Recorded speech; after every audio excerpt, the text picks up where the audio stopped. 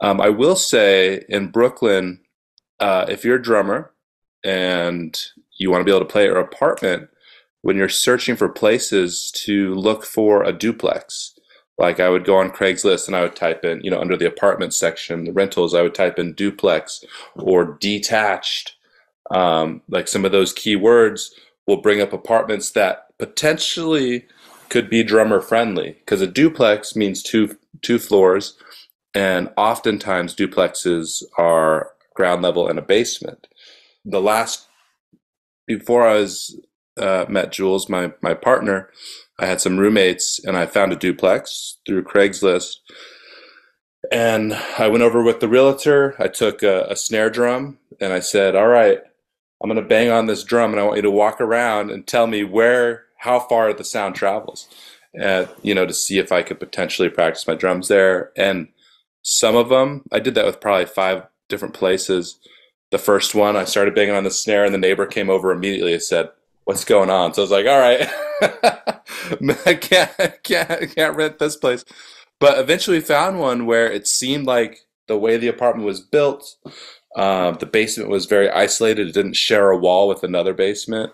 Uh, for example, I was like, "Okay, I think this might work," and um, so I had two roommates who lived on the main floor, and then I had the whole basement, which was my bedroom and my practice space. And then I turned it into a recording studio, got some microphones, and you know treated it with some some sound absorb absorbers and stuff. And uh, so uh, duplex.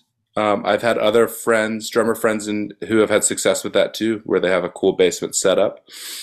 Um, or detached. The place I'm in now, uh, I typed in detached and this place came up and I was looking at it. I was like, wait a sec, doesn't share walls with anybody. Like, you know, maybe I can play drums there. And same thing, went came over here, met with the uh, realtor and brought a drum. And, and this was with my, my wife and had her walk around. And she was like, I think you could probably play drums here without disturbing too many people. And, uh, and sure enough, we've been here five years, and I had a full blown studio. This is also duplex, so up on the top floor. Um, but during the pandemic, I started recording a ton more, so I I ended up renting a space outside of it um, for a couple of different reasons. That's worked out. But anyway, uh, that's my advice for uh, my long winded advice. Search for duplexes. I like that. That's really, really practical, you know, information. Bring when you look for an apartment, bring your snare drum and